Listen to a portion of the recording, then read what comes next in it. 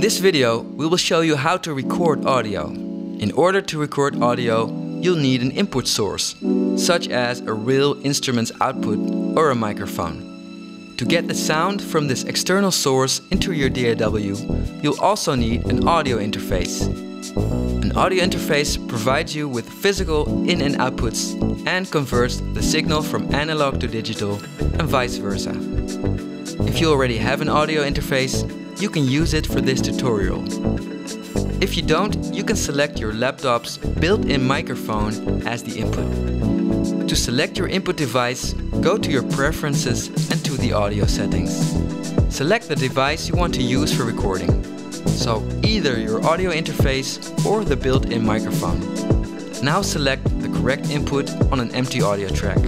You can do this by clicking this box you'll see a list of the available inputs. Arm the track for recording by pressing this button. When recording audio, use headphones to prevent feedback from the speakers back into the microphone.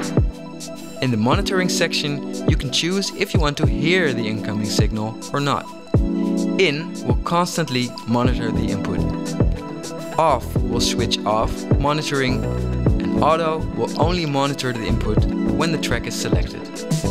If using an audio interface, set your desired input level. Finally, press record to start recording audio. Now you have learned how to record audio.